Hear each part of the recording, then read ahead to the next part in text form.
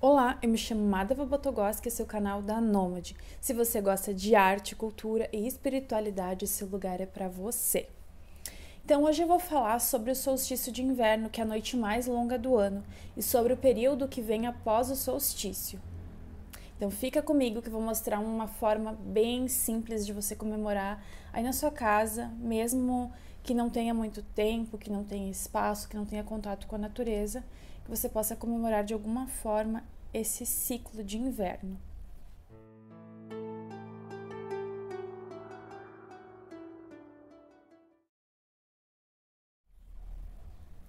Como eu já falei em diversos outros vídeos, os ciclos lunares regem a magia natural. Então, dentro do ciclo de inverno, nós vamos ter as luas para agregar a nossos ritos. Na lua minguante, nós podemos fazer rituais de limpeza, banhos, de limpeza do nosso inconsciente, de limpeza do nosso corpo físico, mental, espiritual, pensando que fique para trás a dor, as feridas, tudo aquilo de negativo que aconteceu no decorrer do ano, até mesmo situações que queremos nos desapegar e que viemos trazendo e pensando durante todo o período de outono um momento de limpeza, onde você pode fazer limpeza, banhos de erva, defumações, tomar chás desintoxicantes para o organismo. Durante a lua minguante vai ser bem interessante fazer isso no ciclo de inverno. Tomar coisas para aumentar a imunidade. Durante a lua nova, a lua crescente, lua cheia, fortalecer o organismo, porque o inverno é um momento de, além de ser de introspecção, é um momento em que precisamos nos cuidar. Os povos antigos já sabiam que era um período de escassez, porque pouquíssimas plantas sobreviviam ao frio, então tinha escassez de alimento, muitos animais morriam e muitas pessoas também adoeciam. O frio traz dificuldades, nos traz mais introspecção. Nós podemos refletir sobre a nossa vida, sobre o que nós desejamos daqui para frente, sobre as dificuldades, mas principalmente nós devemos nos fortalecer nesse ciclo, estar com o nosso interior forte. O solstício de inverno, como é a volta do sol, acontece a noite mais longa do ano e gradativamente o sol vai ganhando mais força. O que, que isso quer dizer? Os dias vão ficando mais longos, até chegar ao solstício de verão, que é a noite mais longa do ano, onde o Sol gradativamente irá perdendo a sua força. E os ciclos se renovam e se repetem, assim como nós. Nós também nos renovamos constantemente. Então, agora é um período para refletir e para renovar as nossas esperanças, metas, sonhos, planos. Por mais que possa estar se apresentando algumas dificuldades na sua vida nesse momento, pense que é o momento de se fortalecer, de não desistir e de ter coragem para enfrentar eu vou ensinar uma forma bem simples de você celebrar aí na sua casa, utilizando apenas velas, tá? Porque vela é um material fácil de encontrar. No caso, eu vou mostrar para vocês, eu vou estar tá utilizando uma amarela para representar o sol mesmo, sendo que você pode utilizar outras cores. Uma marrom para representar a terra ventre da deusa, no caso, né, que dá luz ao sol, né, dizem que dá luz ao deus, a deusa, o ventre, o berço de toda a vida, e a verde, que é a vida, que é a esperança. Então, poucas plantas sobrevivem ao inverno, e essas plantas são símbolo de, do solstício de inverno. Os povos antigos celtas chamavam o solstício de inverno de Yule, né? Então, eram ditas as cores de, de Yule mas vamos chamar de solstício de inverno para facilitar. E eu vou utilizar um óleo essencial, no caso, vou utilizar esse aqui de cedro, que também é uma planta do ciclo de inverno. Você pode utilizar de pinheiro, de alecrim, de lavanda, outros óleos essenciais, tá? Vai precisar de uma ferramentinha para escavar a sua vela.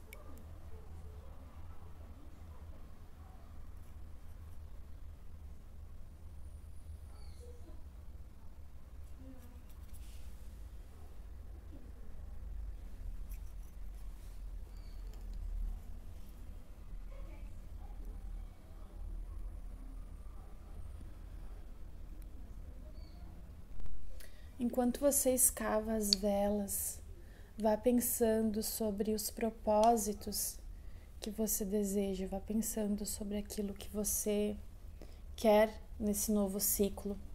Enquanto você escava cada uma das velas, pense e mentalize fortemente os símbolos.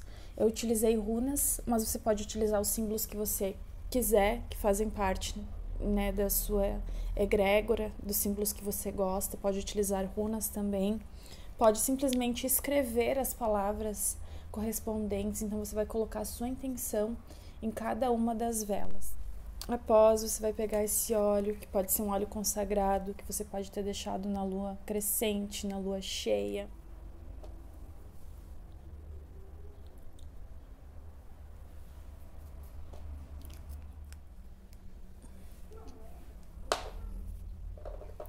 Vai esfregar nas mãos e mentalizar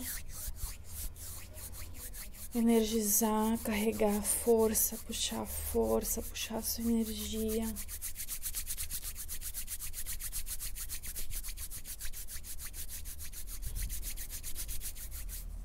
E após, você vai montar cada uma de suas velas, sempre mentalizando aquilo que você quer, passando essa força, consagrando cada uma delas consagrando com óleo, com a sua energia, com o seu pensamento, cada uma das velas.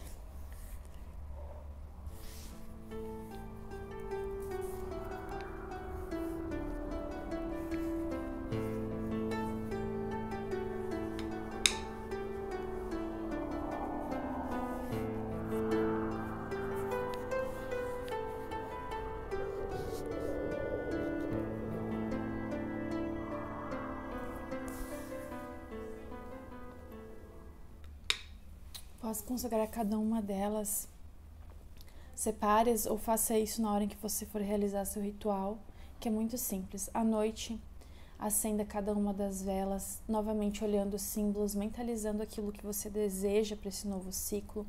De preferência, faça à noite, acenda, medite, pense sobre cada uma das questões que você precisa transformar, mudar, sobre as suas dificuldades, sobre as coisas que você almeja para esse novo ciclo sobre as dificuldades que você quer transpor e acenda cada uma das velas, mentalize, medite. Após você pode apagar as velas e na manhã seguinte você hum, coloca no seu despertador, veja que horário que vai nascer o sol na sua cidade. Acorde no horário do nascer do sol, acenda de novo as suas velas e dessa vez deixe-as queimar até o final, mentalizando que você consiga tudo aquilo que você deseja, que assim como o sol renasce, que você possa renascer, as suas esperanças, as suas forças possam ressurgir, o seu brilho interior possa ressurgir, a sua vontade, a sua ação, que você encontre ferramentas para tudo que você almeja, que sua saúde seja fortalecida, assim que como o poder do sol que traz essa força de esperança, que suas esperanças possam se renovar. Faça sua prece, sempre uma prece do coração, uma prece que venha de dentro do seu da sua mente, de dentro do seu coração, da sua vontade, da sua essência, vai ser a prece mais verdadeira. Então faça sua prece, aquilo que você sentir, em honra ao sol, em honra a você e peça e fortaleça os seus desejos. Então essa é uma forma bem simples de comemorar esse solstício, você pode escolher a melhor lua. Se você quer focar no ritual de limpeza, faça na lua minguante. Se você quer focar em planos, faça na lua nova. Se você quer focar no seu crescimento, faça na lua crescente. Se você quer focar na sua expansão, faça na lua cheia. Então você vai escolher a melhor lua, o melhor ciclo lunar dentro desse período para fazer esse ritual que é bem simples. E se você colocar intenção muito forte, muito poderoso também.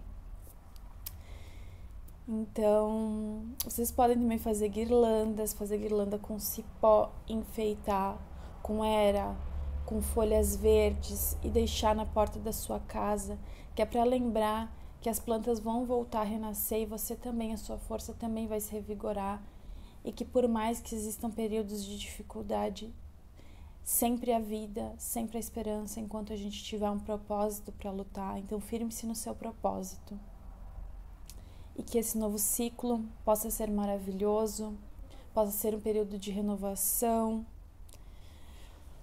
de acessar o inconsciente para realmente transformar o que precisa ser transformado, para trazer a consciência para sua vida. Lembre-se que os ciclos vêm, vão, mas o poder está nas nossas atitudes, nas nossas escolhas, em tudo aquilo que a gente faz, que a gente deseja, nas nossas intenções.